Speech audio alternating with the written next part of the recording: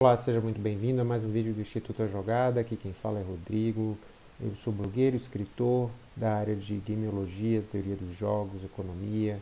E ao longo desse ano eu vim gravando essa série com é, análises do que está rolando no mundo e no Brasil pela perspectiva que eu proponho, né, que é esse tabuleiro em forma de mandala chamando A Jogada.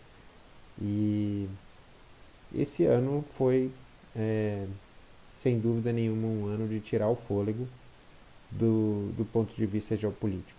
Né? A gente é, viu o ano começando com um caos, um tumulto no Cazaquistão, que depois vira uma guerra na Ucrânia, e a gente está terminando o ano com o Reino Unido, que não consegue manter primeiro-ministro no, no, no, posto, e uma Libra é, derretendo e uma Europa onde é, o euro também está derretendo, uma Itália que lembra o Reino Unido e uma Suíça que tem um dos seus dois megabancos é, com um prejuízo aí, com um, uma desvalorização de 50% no seu ativo.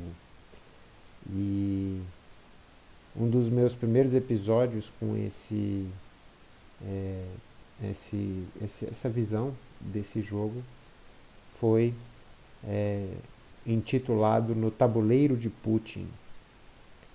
E a gente analisou justamente a maneira como Putin estava usando a guerra para, é, é, digamos assim, colocar em jogo, colocar no, na mesa o seu atual poder é, geoestratégico com, com o seu novo arsenal, né, o seu novo leque de, de cartas, uh, de armas para é, para administração de um, de, um, de um espaço militar e econômico, geopolítico, que na verdade é o projeto maior que vem sendo elaborado com a China desde de mais de 10 anos atrás com as novas rotas da seda.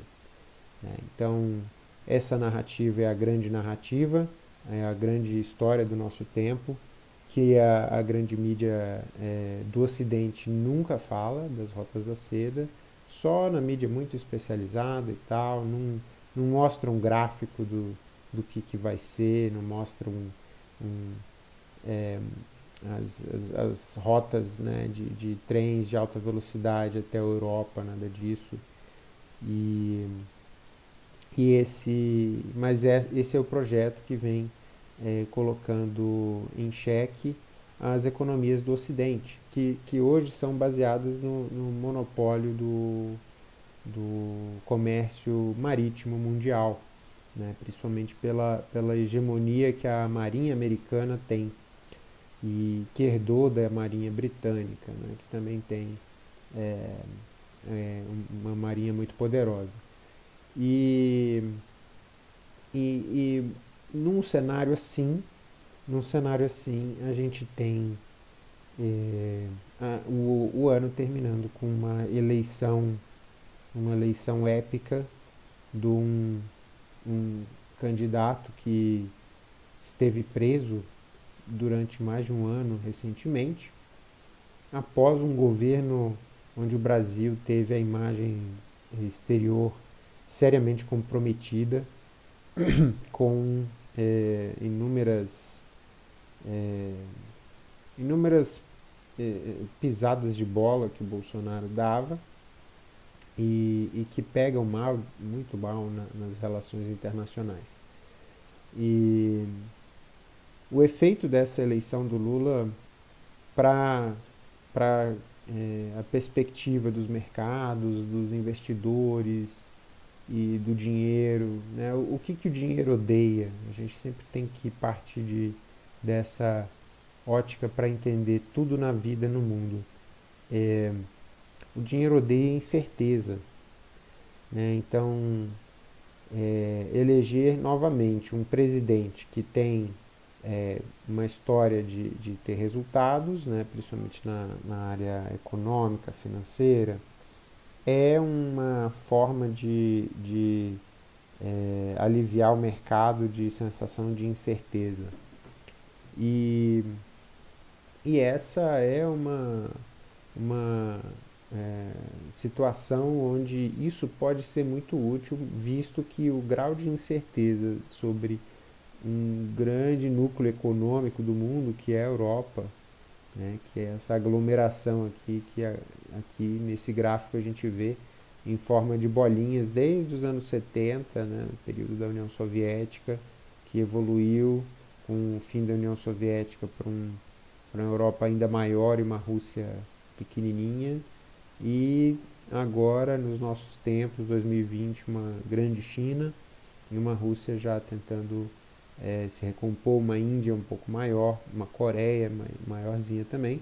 E aqui na América do Sul a gente tinha uma Argentina muito forte nos anos 70 e economicamente mais desenvolvida que o Brasil. E depois, no, nos anos 90 e, e hoje nos anos 2000, é o inverso. E, e isso também é uma, uma questão importante aqui no nosso cenário regional, que de vez em quando a gente aborda. Mas é, o, o, cenário atual é um cenário onde a Europa está numa, numa posição onde é, grandes fortunas estão ameaçadas. E num cenário assim, um Brasil mais estável, uma América do Sul mais estável, é necessário, é um hedging para o mundo ter onde colocar seu, seu dinheiro com um rendimento é, é, bom para o que eles precisam, né? um rendimento necessário. Como a gente pratica as maiores taxas de juros do mundo, o dinheiro aqui vai, vai ser muito bem atendido né? pela nossa é, sociedade é, débito debitopata, né? viciada em dívidas e onde 80% das famílias estão endividadas. Né? E aí, é, o, o cenário que, que o Lula vai é, encontrar no exterior, apesar do cenário interno ser bem, bem negativo para o Lula, para o governo do Lula, principalmente por causa do Congresso e por causa desse tipo de demonstração de força nas ruas, com piquetes, bloqueando estradas, tudo isso que mostra a oposição interna que ele pode enfrentar nesse governo, se não tiver habilidade. Né? É, do cenário externo, o Lula vai encontrar realmente um céu de brigadeiro para fazer as pirotecnias que ele gosta. Né? Então, é, quem se lembra do, do governo, um dos últimos movimentos do governo dele foi tentar intermediar uma questão com o Irã e que acabou não dando muito certo. Ele é, acabou é, intrometendo o Brasil numa questão milenar que, que na verdade está tá, é, é, é como se fosse uma, uma profecia das escrituras é, tanto entre Israel como Irã, que os países vão ter até o fim do mundo é, suas rixas. É, ou seja, o Lula não sabia bem onde ele estava entrando. É, o mundo atual é exatamente um mundo que pede alguém com um pouco de, de ousadia é, na, na, abordagem, na, na é, dissolução de alguns imbróglios né, de, de diplomacia ou de falta dela. Né? E o Brasil é um país que tem diplomaticamente uma história. É, e, e não, é, não é recente. Né? Realmente o, o Brasil é, foi um personagem diplomático importante em várias grandes decisões eh, históricas. Né? E, e isso muito por quê? Porque o Brasil está justamente distante do, do, do da maioria dos problemas, mas tem uma, uma é, uma existência estabilizadora do, dos problemas do mundo quando se trata de ajudar com fornecer comida e, recursos e tudo para áreas que têm algum tipo de risco ou de crise ou de desastre, coisas assim, e ficam insuficientes, né? E então contam com, com a existência do Brasil, a existência aí de, de países que vivem em ilhas com recursos naturais limitados para a quantidade de populacional que eles possuem. Né? Então, um país como Sri Lanka está vivendo uma crise seríssima esse ano.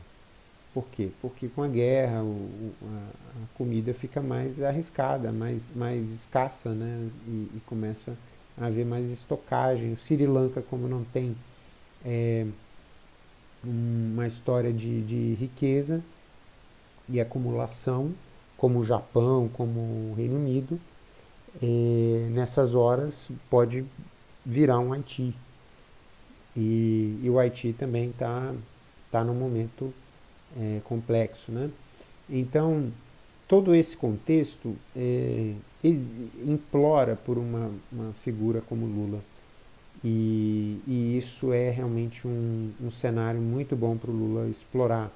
É uma, uma presença que poderia ser maior no cenário internacional da Índia é, é muito focada em questões internas né, e, e que realmente não deixam e, e, e que colocam a Índia num, numa situação de pouca manobrabilidade, porque ela tem também é, algumas questões com vizinhos e, e isso limita um pouco é, a, a, a, gama de possibilidades da Índia. Já o Brasil, como o próprio Lula diz, não tem, não tem é, contencioso, né? não tem nenhuma crise histórica com ninguém, é, não sei, talvez o Paraguai. E, e então é, o, o, o que o Brasil pode articular é, de, de útil para o mundo, assim como foi o BRICS no, no período que ele fundou, né, ajudou a fundar, muito não por causa dele, né, mas porque é, o Itamaraty é uma, uma instituição, foi uma instituição privilegiada no período dele, que teve liberdade de articulação, e ele, como negociador profissional, é, fez o que sabia fazer de melhor. Então, é, tudo isso é, é também é, favoreceu, né? e o mercado, o cenário externo favorecia e a crise atual que o Brasil, que, o, que o mundo enfrenta, pede um Brasil assim e pede um, um articulador na liderança do Brasil. Então, é, o, o, universo ele conspira né, para as coisas acontecerem. Ele conspira não só no sentido esotérico da coisa, mas no sentido dos jogadores mesmo que, que é, jogam o jogo é, e o interesse é, financeiro mundial no, no, Lula, no governo, era, era é, dominante, né? era é, algo imperativo. Então, o Brasil, como sempre é, foi, foi, funcionou de fora para dentro, isso foi determinante para o Lula ser o, a escolha não dos brasileiros somente, mas também dos banqueiros mundiais que, que têm condição de influenciar nas escolhas das democracias. Né? Então, é, o jogo, o, o, jogo ele é sistêmico. Quem tenta ignorar isso é, não entendeu nada. O próprio Lula é, fez várias viagens ao exterior e, e, e conversou, fez, buscou as alianças estrangeiras necessárias antes de começar a sua campanha, porque ele sabe que não, não tem como, né? não tem como se, se você não tem esse apoio é, que, que vem lá de cima. Né? E, e, a, e a questão da, da Europa e da Suíça, ela é tão tão complexa que eu vou trazer para vocês aqui um fato curioso, né, que o Credit Suisse, né, aquele banco eu já comentei sobre ele, ele vem aí passando por um período difícil, é, ele sofreu alguns prejuízos né, recentes e, e agora ele está sendo cotado para ser é, é, receber um aporte de fundos árabes e fundos e um dos possíveis fundos, é, dos possíveis bancos, é, um brasileiro, né, que é uma notícia aí que, que é, vem sendo mais circulada em, em, aqueles relatórios fechados né, de fundos e tal, aquelas é, newsletters pagas e, e, paywalls, né, mas, mas esse sonho não é novo também. Né, um dos fundadores do BTG, o André Esteves, é, que, que é muito famoso aqui no Brasil, é, ele, ele já, já fez negócios com bancos suíços, né, como o UBS, ele comprou, não, ele primeiro vendeu o, o Pactual para o UBS, depois recomprou e rebatizou como BTG Pactual, né? E, e, e, ele então já tinha esse sonho antigo, né? De, ele é matemático formado pela UFRJ e, e teve aí uma carreira no setor bancário, uma carreira meteórica, ele entrou no, no Pactual, depois eh, virou sócio e diretor do banco, então é um, um técnico que, que tem realmente uma história como poucos no Brasil e que é, dentro desse jogo re, reconfigura muita coisa. Né? Um, um banqueiro brasileiro é, está, está é, se, se, se alçando a esse é, status de, de sócio, de dono de um dos bancos mais importantes, mais históricos da, do mundo capitalista, é uma coisa que, que configura um, uma nova etapa, um novo momento dos tempos da, da, é, da, da história da, do capitalismo e da história mundial. Né? Por quê? Porque isso significa que, que a gente vai ter aí uma parte da sociedade suíça trabalhando para um brasileiro.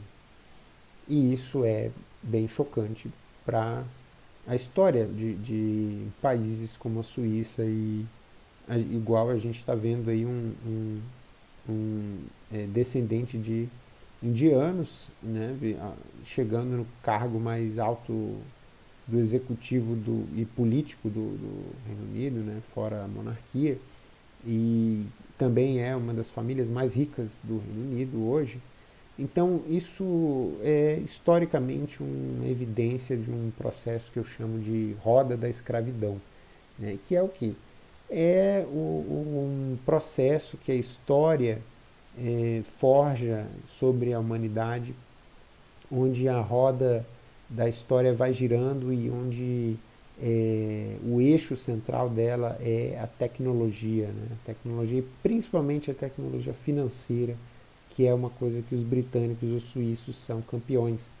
E, e ter um, um brasileiro chegando nesse patamar aí de se tornar banqueiro suíço para a integração financeira que o mundo tem hoje, é, é um fato é, que, que é, significa que essa roda está girando né, que nesse momento a Suíça já como, como epicentro né, na meca do capitalismo é, e também o Reino Unido que estavam nesse topo do topo do, do processo agora eles estão agora num processo de diminuir né, de descer é, e nesse processo de descer é, enquanto eles descem quem estava aqui embaixo está subindo né?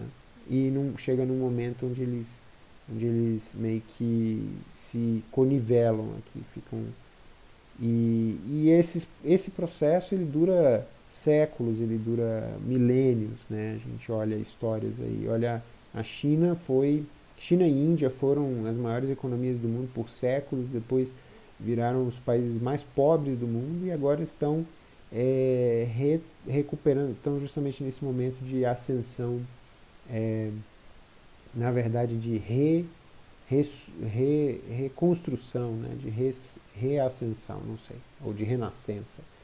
E, e o Brasil eh, também teve um momento de um progresso antigamente, né, e, e depois uma decadência, um ciclo de decadência né, do, do, do, do brilhantismo econômico né, que, o, que o Brasil viveu, de industrialização, o Brasil perdeu muita industrialização, mas também está acontecendo eh, no, no no íntimo do Brasil uma revolução tecnológica é, pouco, pouco, pouco observada. Né? A gente fala muito mais do que está morrendo do que do está vingando, né? como as áreas de inovação tecnológica né? e, e outras áreas aí.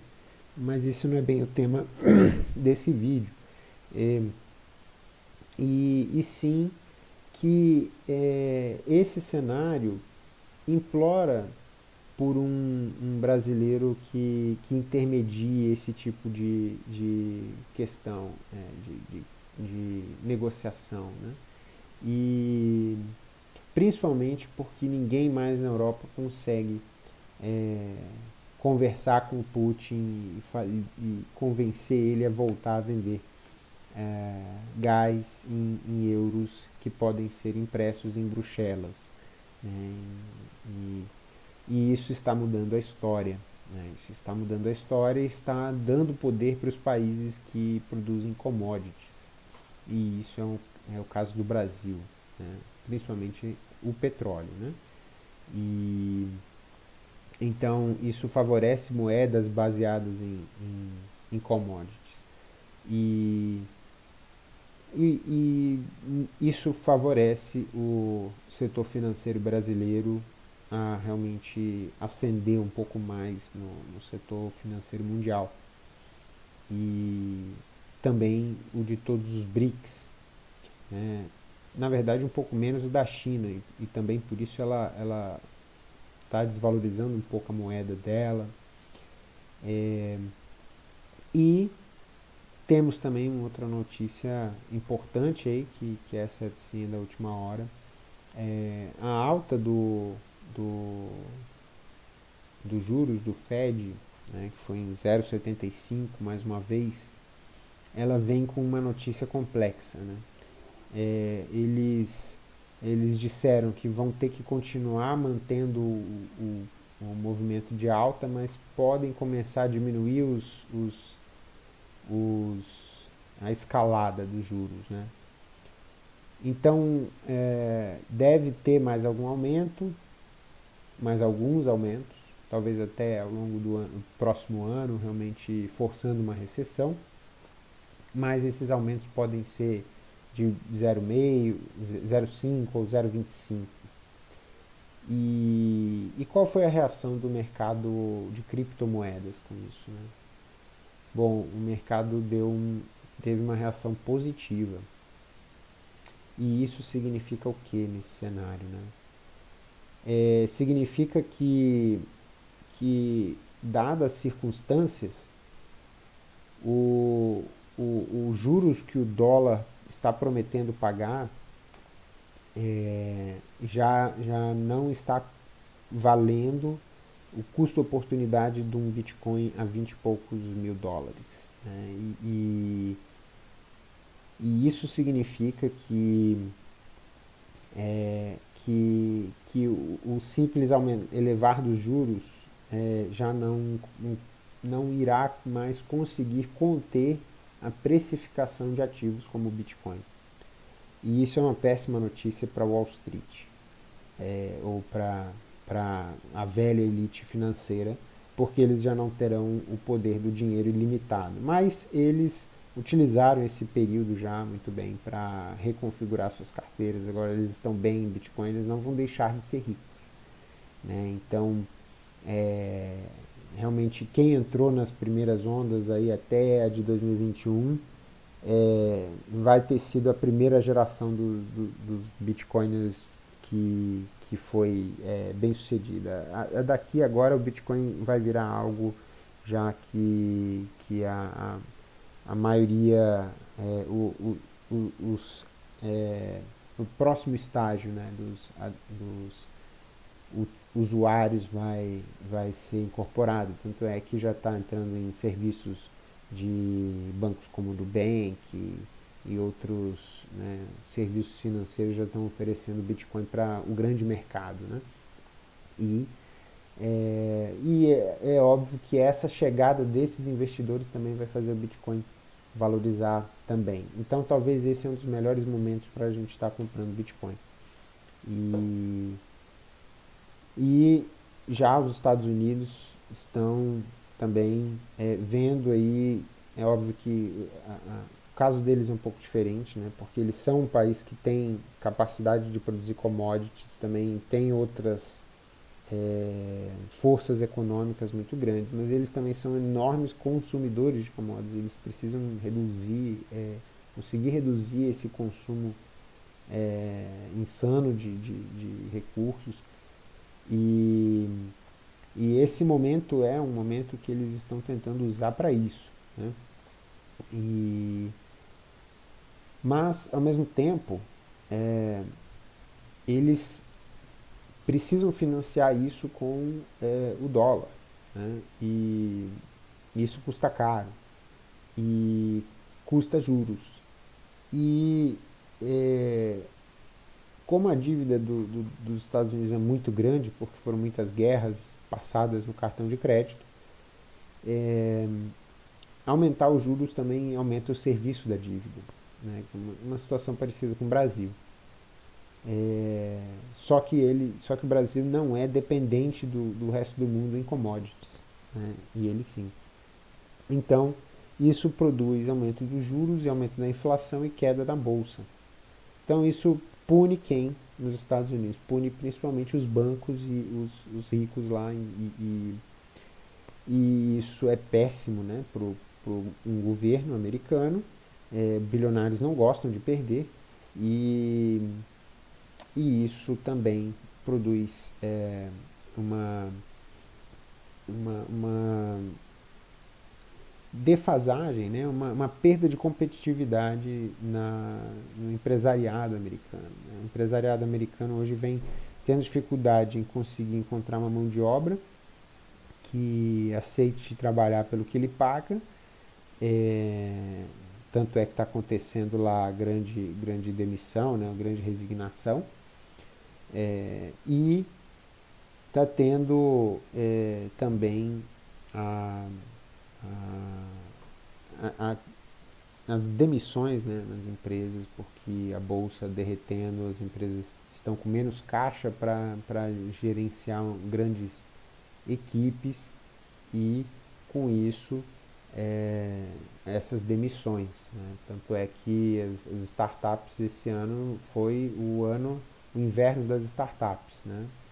Então, é, demissões aí na, na casa de 20% do, do, das equipes, 25%. E isso aconteceu também no Brasil. Né? A gente viu aí várias startups demitindo. E isso por quê? Porque quando é, os Estados Unidos sobem os juros, é, os recursos vão para o setor público. Né? Eles vão para financiar a operação do Estado e, e, e esses recursos então vão para a economia é, planificada né, do, do, do mercado, a juros fixados, enquanto o mercado é que trabalha aí com a renda variável, é, vai pagar é, esse, esse, esse custo do Estado. E os investidores detestam isso. Né? E isso sinaliza agora um, um cenário politicamente é, negativo para essa gestão do, do, Partido Democrata, que está agora aí a semanas da próxima eleição é, para o Congresso. E o, o, cenário é bem negativo o presidente Joe Biden, para o Partido Democrata, porque ele tende a ficar realmente com, com as mãos atadas no, nesse segundo, nessa segunda parte do mandato. E aí ele também não vai ter muita condição de nem de corrigir alguns erros que ele cometeu até aqui e tentar né, uma reeleição para o Partido Democrata.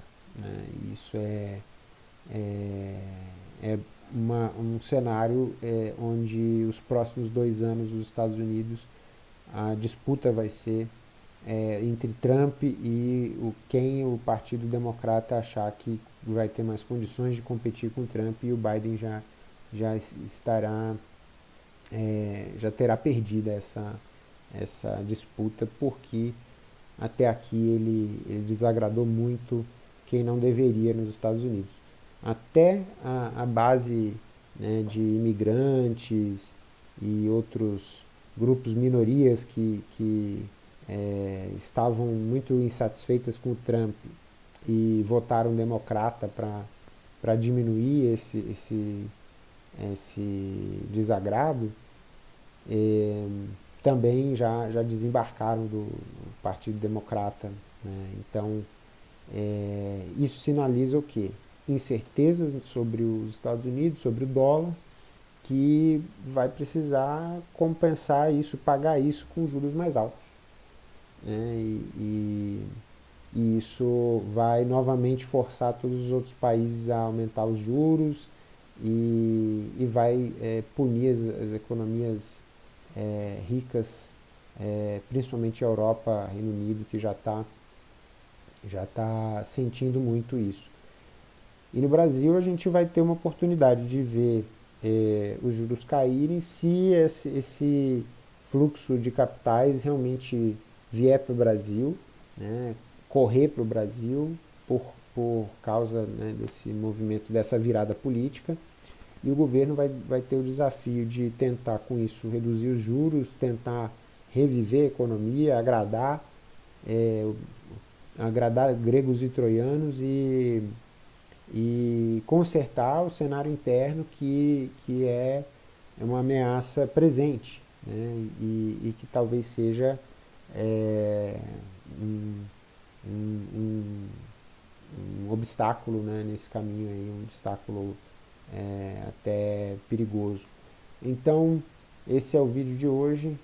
É, Para quem ficou até aqui, é, eu peço seu joinha, seu comentário, o que, que você acha né, do que está por vir aí no, em relação a, ao Bitcoin, à Bolsa, ao, ao real, dólar, é, até onde você acha que vai essa queda do dólar. E a Bolsa, é, o que, que deve subir e, e até, até onde isso pode ir. Né? A gente fica para comentar sobre isso nos próximos vídeos. Um abraço para você e até a próxima. Tchau, tchau.